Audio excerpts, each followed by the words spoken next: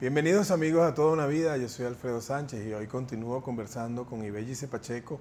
Ibellice, hablamos ayer sobre tu experiencia, con tus inicios en el periodismo y quedamos en esta parte de hablar de tu parte como escritora, pero terminábamos cuando ya habías comenzado en el Nacional a gerenciar el Cuerpo C y tenías ya toda una un equipo de gente trabajando ahí y llegaste después de ahí a jefe de redacción, jefe de redacción del periódico. Lo del cuerpo C fue muy rico.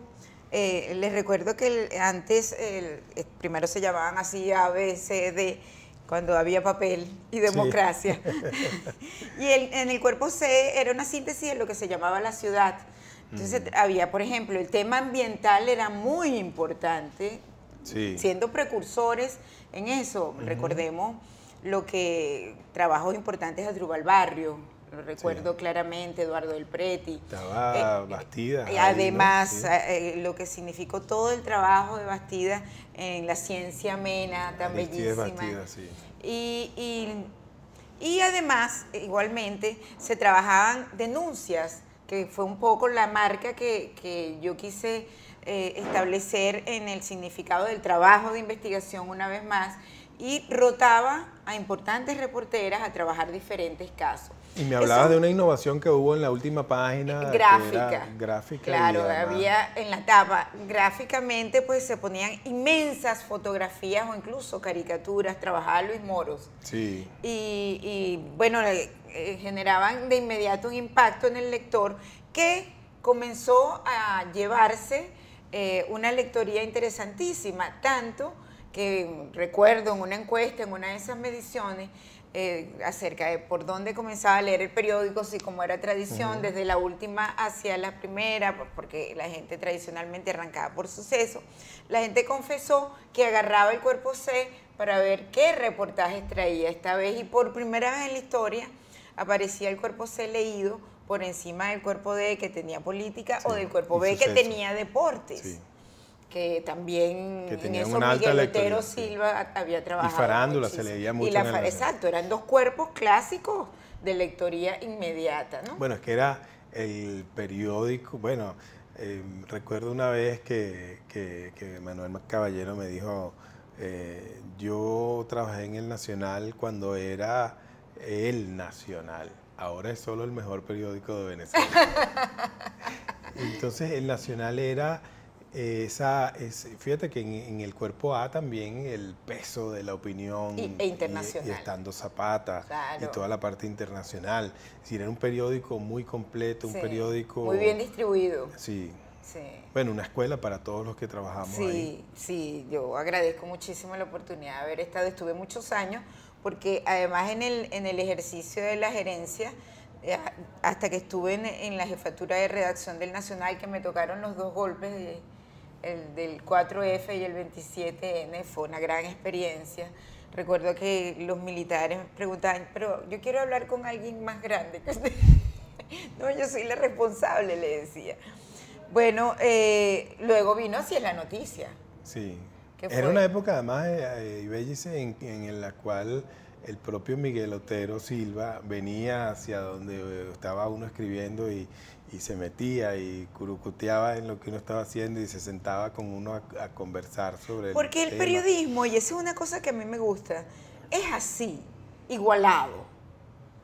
Sí. Eh, es decir, eh, eh, está bien, se respetan las jerarquías. Claro, cuando la gente llega a tener un rango con el cual se, siente el dueño en capacidad de conversar también, porque no es a todo el mundo le toca eso. No, no es a todo el mundo, pero, pero tú lo ves como natural cuando ocurre y de hecho este, un buen director eh, cuando tiene una noticia importante, se sienta con el reportero y con el fotógrafo a que le echen el cuento y a vibrar. Bueno, lo ves hasta en las películas americanas, ¿no? Es decir, ya va, ahora cuéntame tú exactamente qué fue lo que, más allá de lo que estés escribiendo, ¿Por dónde sientes que van las cosas? Es parte del... del, la dinámica sí, pero también la pasión. Es, parte del éxito que tiene dar un tubazo y dar la noticia y, tener, estar vibrando. Te hace merecedor de, de esa confianza, ¿no? ¿Y, quién era el director en esa época cuando tú estabas como... como Alfredo Peña. Alfredo. Sí.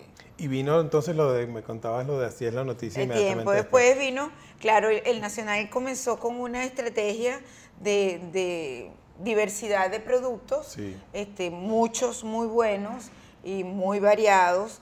Y a mí me tocó la responsabilidad de dirigir el primer periódico popular eh, con el que lo iba a intentar eh, el diario. Y, resultó muy bien.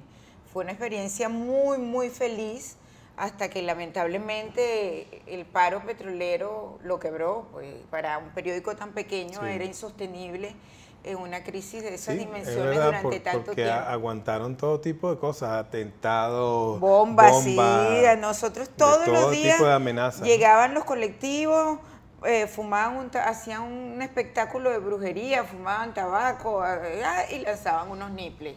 Esa era la, la parte. Estamos hablando de este gobierno. Sí, sí, de esta continuación de esto, De colectivo, sí. De este personaje de opereta, como llamó Carlos Fuentes al susodicho. Sí, bueno, este, pero este no llega ni a eso. Bueno, imagínate tú. Así estamos. y entonces después de así en la noticia, ¿qué, qué rumbo tomaste? En, en, el momento... Paralelamente seguías haciendo radio, ¿no? Claro, entonces en el momento así en la noticia, este, que eh, era era una doble experiencia o múltiple experiencia, porque dirigía un periódico popular donde hacía política y hacía sucesos y hacía farándula, bueno, lo, que hacen eh, claramente los medios populares, pero también tenía información importante que ameritaba que tuviera una columna. Y yo comencé a realizar en el Nacional una columna que se llamaba En Privado, que salía todos los viernes, un poco la herencia después de aquella columna famosa que tuvo Alfredo Peña. Eh, muy polémica, por cierto. Eh, y empecé a trabajar el tema militar en investigación en esa columna, a denunciar. Mm, no tienen por qué recordarlo mucho, pero yo sí me acuerdo la primera que realizó la denuncia, el Plan Bolívar 2000, nos veíamos incluso Lo primero que hacía yo era leer. Sí, y, lo recortaba y lo ponía en el resumen de prensa. Muy bien, y eventualmente, eventualmente hacía también reportajes para el Nacional. Eso me fue generando propuestas de trabajo, porque además el país eh, efervescente de información, eh, me fui a hacer eh, radio en Kiss, tenía un programa todos los mediodías, entonces en lugar de almorzar, almorzaba en el carro, iba así, y los jueves empecé con un programa que se llamaba igual que la columna en Venevisión en privado. Sí.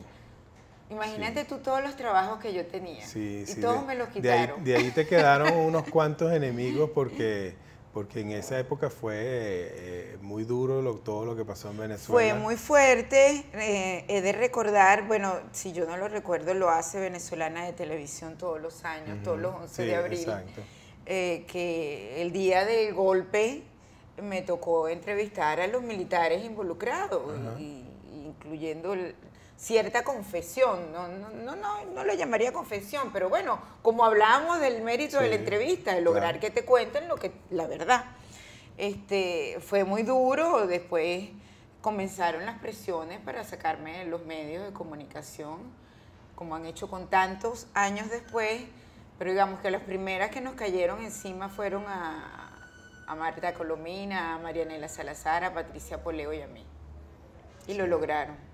Y fíjate que la historia de este país en el materia de periodismo está barnizada por muchos nombres de mujeres.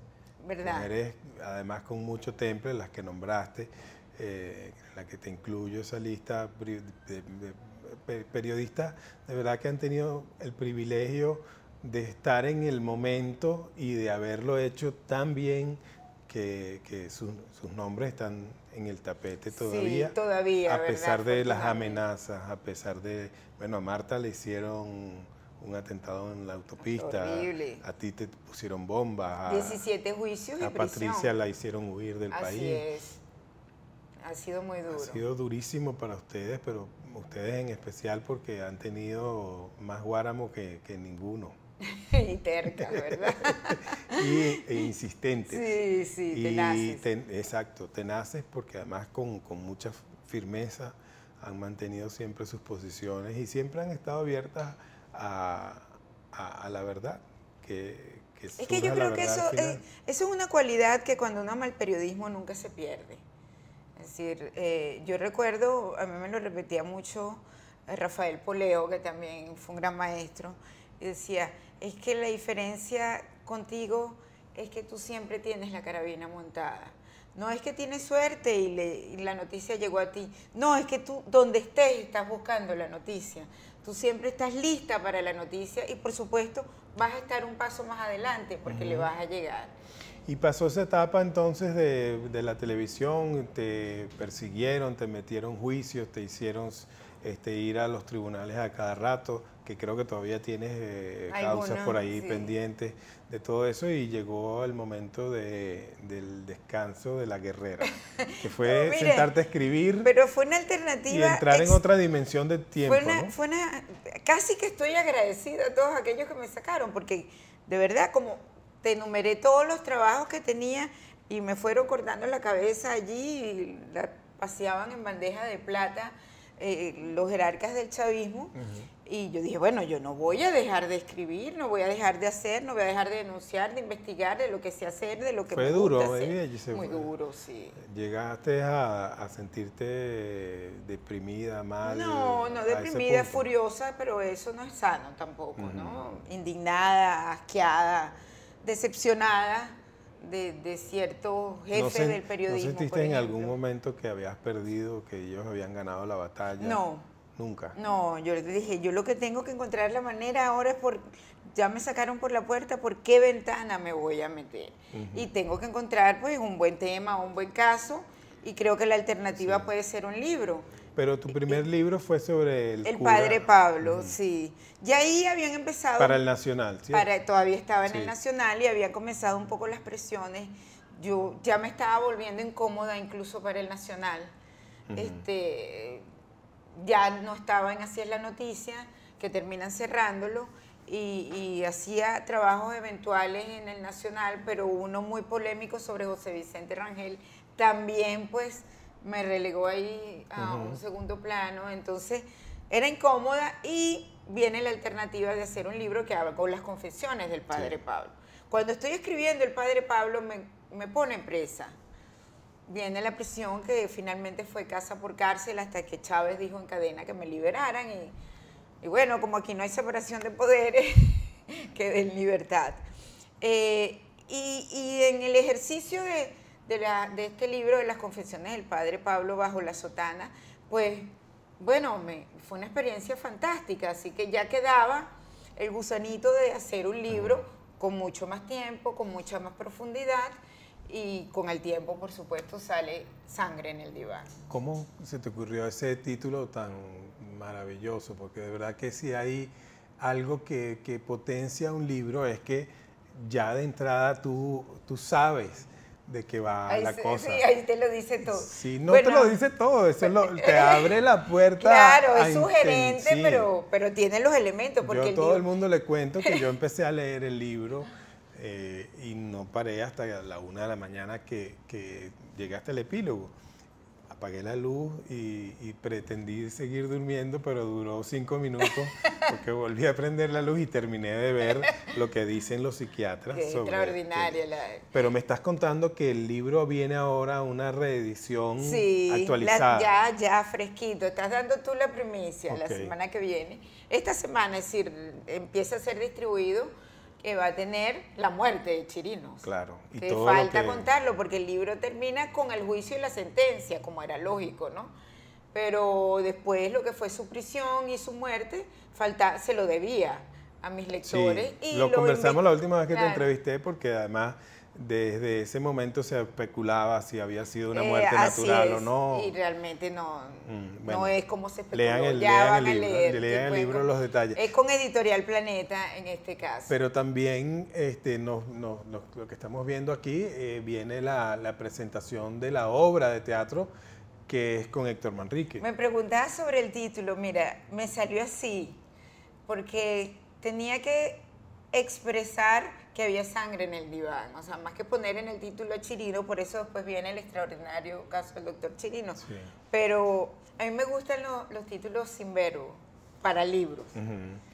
Pero fíjate además que, por la investigación que tú hiciste, em, creo que te quedaste corta a propósito por una cuestión de, no de recato, sino más bien de, que ya el libro es tan fuerte. Claro, la historia. Que habían muchas cosas que no se contaron sobre el personaje. Y por respeto a Rosana, ¿sabes?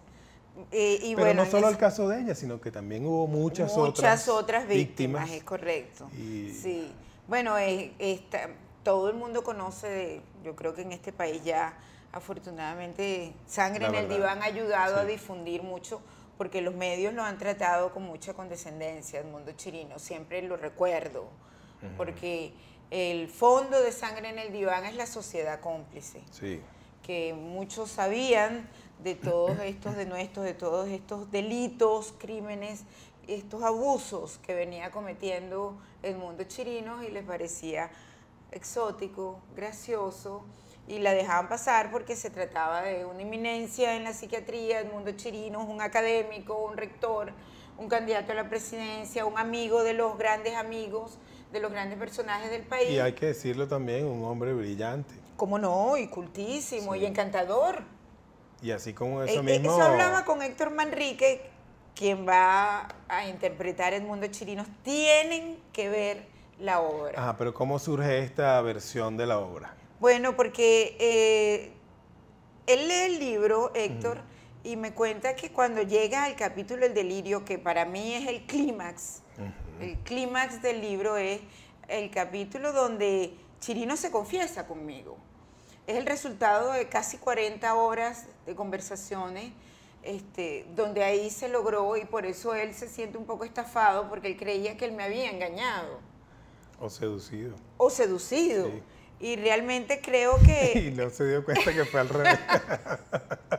Pero ahí hay en ese, en esa... Eh, ¿Qué fue lo que él finalmente dijo cuando leyó el libro?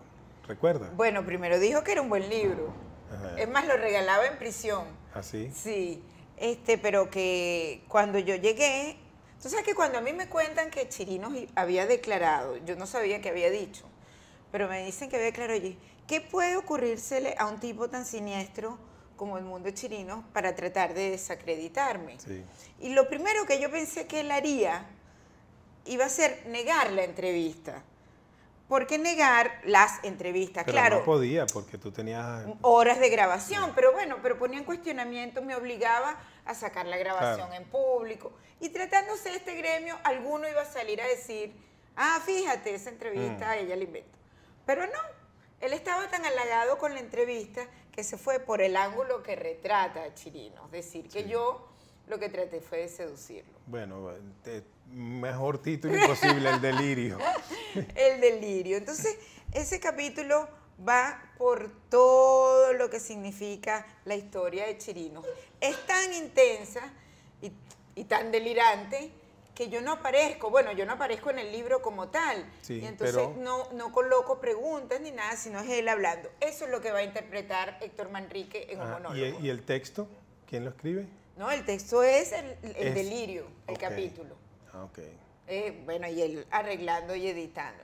Pero nos dicen que queda poco tiempo, así que hay que contar varias cosas. Bueno, el, grito, bueno, el grito que el grito ignorado no lo dejen de comprar porque sigue estando en todas las librerías que trata un terrible caso también, pero que creo que es una gran lección para los padres sobre cómo evitar la violencia familiar. ¿Y, tu libro más vendido cuál es? ¿Sangre? O, claro, Sangre, sí. Aunque el grito va muy bien. Va muy bien también, me han dicho. Y, y el grito, este, a mí me dio la satisfacción de cumplir una misión importante de justicia, pues. Mucha gente me ha comentado que, que, le ha costado leer porque ambos. Porque es dura la historia, sí, son historias duras. Esta en específico. Claro, pero no se puede ser tan cómodo para cerrar los ojos ante las realidades, porque son hechos ciertos. ¿Pero y qué viene ahora, Ibellis? Bueno, primero quiero contarles de, de, Mente Criminal. Es la versión en teleserie que compró los derechos Univision para el mundo.